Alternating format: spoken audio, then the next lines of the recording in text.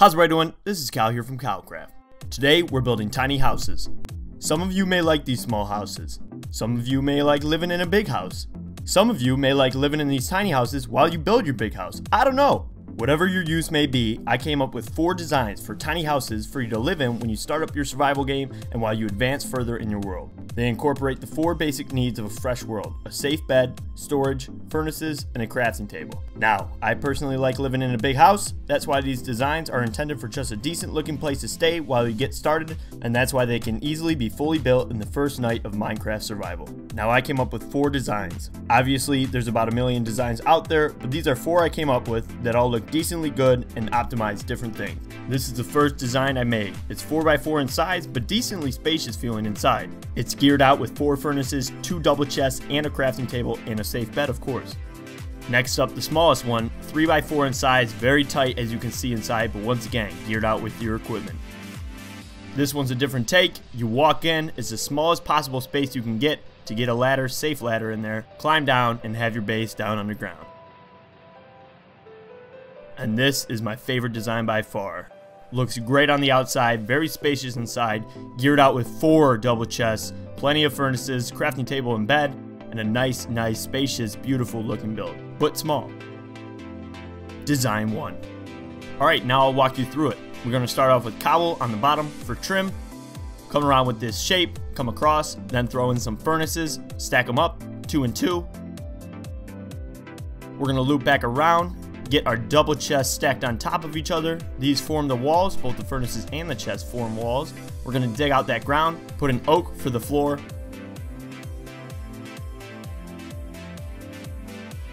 Come across oak on the sides for walls. That'll stack up our walls all the way.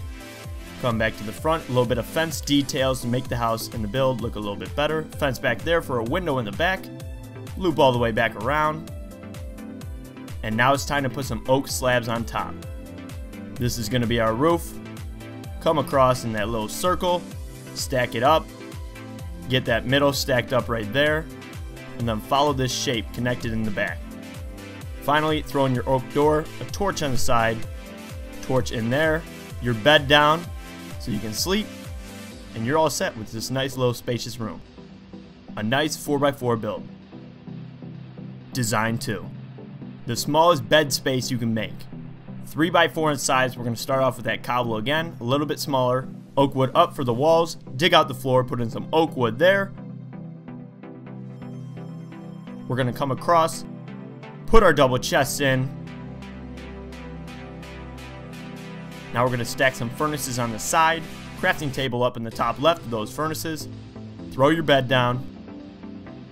Now the door is important. Make sure you follow along on screen exactly how I place it.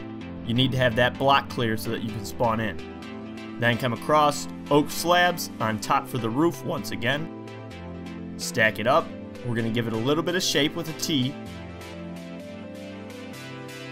And then come out front and finish up the detail so it looks good. And that's it looking good. Now, you can make this additional detail. It makes the house look even better. It's not as small and compact, but it looks better in my opinion, and it prevents you from spawning outside sometimes, which does happen if you don't have this in place. Design 3. Alright, just that little hut we went over before. Cobbled down for the trim once again. Smallest possible build here.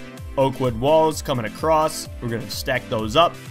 Come out front, dig out a little bit, oakwood block first, then we're going to dig out this cobble. We have to dig it out, make sure it goes nice and deep down. It looks better to have the cobble follow suit all the way down, nice and flush. Then we'll come back, put some oakwood slabs on top for the roof, and your oak door. Walk in, put your ladders all the way down so that you can get down to your secret hole, a torch in there for light, and it's all set.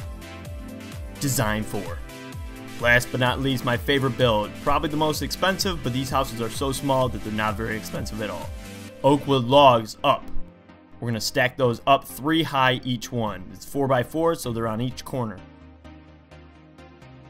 Then we drop down in front, put in some furnaces. Right in front there. Dig out the ground for some oak wood. That's going to be our floor once again. Double chests on the side, both sides, so we got four. Furnaces in the back with that crafting table in the top left corner again. Oakwood slabs looping across. Fitting nicely right there. Then we're going to stack up there, so follow along on screen and make that roof flush with those oakwood slabs. Door out front. Walk in, throw down your bed, add in a torch, walk back out, and you're all set. Beautiful looking build.